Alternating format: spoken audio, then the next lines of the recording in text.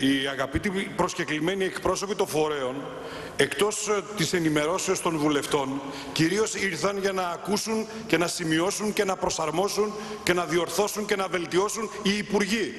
Λέγονται διατάξεις, προτάσεις για το ασφαλιστικό, συνταξιοδοτικό και δεν υπάρχει, δεν είναι εδώ η ηγεσία. Ο κ. Αλεξιάδης είναι για τα φορολογικά. Έτσι δεν είναι, Υπουργέ; Δεν είναι για το ασφαλιστικό. Λοιπόν, παρακαλώ θερμά ή ο κύριος Κατρούγκαλος ή ο κύριος Πετρόπουλος να έρθουν στην αίθουσα να ναι. ακούσουν, να καταγράψουν, να κωδικοποιήσουν. Έχετε δίκιο κύριε Δραφιλίδη, δεν μπορώ να πω τίποτα άλλο, αλλά υπο...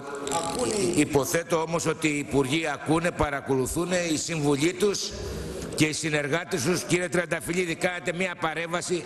Κύριε Τριανταφυλλίδη, Κύριε Τριανταφυλλίδη, κάνετε μια παρέμβαση, οφείλω να απαντήσω, δεν με ακούτε. Λέω ότι οι υπουργοί το ξέρουν, προφανώς παρακολουθούν την εξέλιξη της συζήτησης, μπορεί να μην είναι ήδη παρόντες, αλλά οι συνεργάτες τους παρακολουθούν και καταγράφουν αυτά και εν πάση περιπτώσει ε, θα, αυτά θα κρυθούν στην πορεία. Τι,